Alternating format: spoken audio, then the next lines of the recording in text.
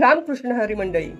Food crazy शुभांगीमध्ये तुमचं मनापासून स्वागत आहे. आज आपण पौष्टिक अशी डिंकाचे लाडूची रेसिपी बघणार आहोत. हिवाळ्यामध्ये डिंकाचे लाडू खाल्ल्यामुळे रोगप्रतिकारक शक्ती वाढण्यास मदत होते. आणि रोगप्रतिकारक शक्ती मजबूत देखील राहते. म्हणून डिंकाचे लाडू आवर्जून खावे. चला तर रेसिपीला सुरुवात करूया. येथे मी एक कढई गरम करून घेतली आहे. त्यामध्ये पाव किलो सुक्या खोबऱ्याचा किस छान असा खमंग भाजून घेणार आहे.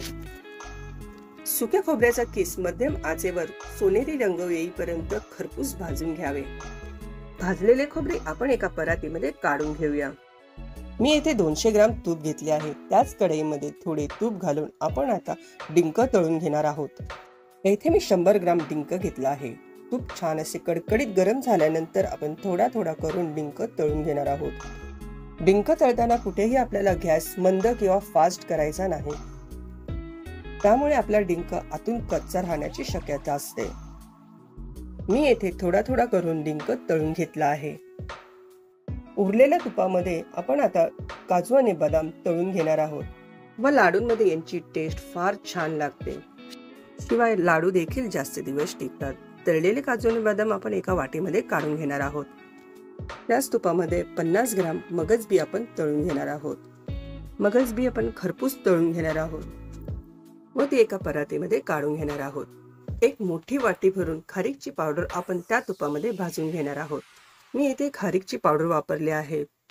कुठल्याही किराणा मालाच्या दुकानात तुम्हाला ही पावडर सहज मिळेल. नाही तर तुम्ही अख्ख्या खारकांची पावडर देखील करू शकता. भाजलेली खारकांची पावडर आपण त्याच परातीमध्ये काढून घेणार आहोत. पावडर आपल्याला जास्त वेळ भाजायची नाहीये. त्याच कढईमध्ये आपण आता शंभर ग्राम तीळ भाजून घेणार आहोत.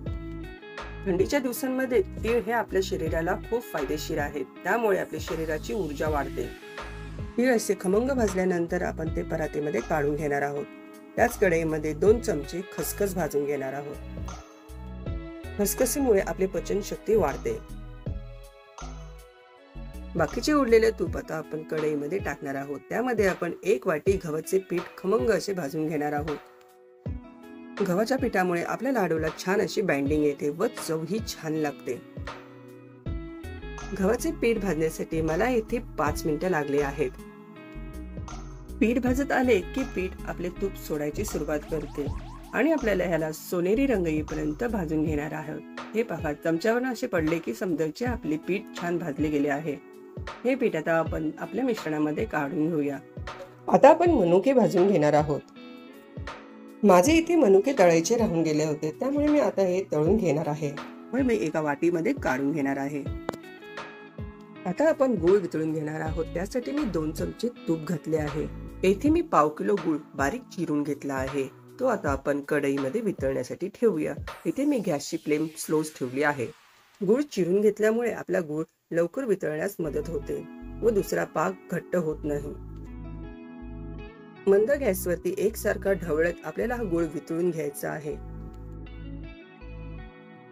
हे पहा आपला गुळ वितळत आला आहे.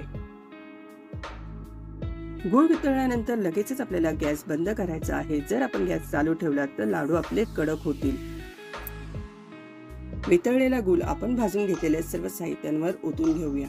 व सर्व मिश्रण एकसारखे मिसळून आपण सुरुवातीला आपला पाक हा खूप गरम आहे. त्यामुळे सुरुवात मिश्रण हे आपल्याला चमच्याच्या मदतीने हलवून घ्यायचे आहे. येथे मी वीस ग्राम सुंठ घेतले आहे. सुंठ ही आपल्या शरीरासाठी खूप फायदेशीर आहे. सुंठामुळे गुडघेदुखीची समस्या कमी होते. शारीरिक वेदना देखील कमी होण्यास मदत होते. हे सर्व पदार्थ आपण छान असे मिक्स करून घेऊया. चमच्याच्या मदतीने तळापासून हे मिश्रण आपण हलवून घेणार आहोत. हे सर्व मिश्रण आपण थोडे थोडे करून मिक्सरच्या भांड्यातून बारीक करून घेणार आहोत. त्यामुळे आपले लाडू छान वळले जाणार आहेत. मिक्सरमधून वाटून घेतल्यामुळे आपल्या शेवटचा लाडू देखील छान असा बांधला जाणार आहे. पहा सर्व मिश्रण मी येथे मिक्सरमधून बारीक करून घेतले आहे. यामध्ये आपण आता काजू व बदामचे तुकडे घालणार आहोत व त्यासोबत बेदाणे देखील घालणार आहोत.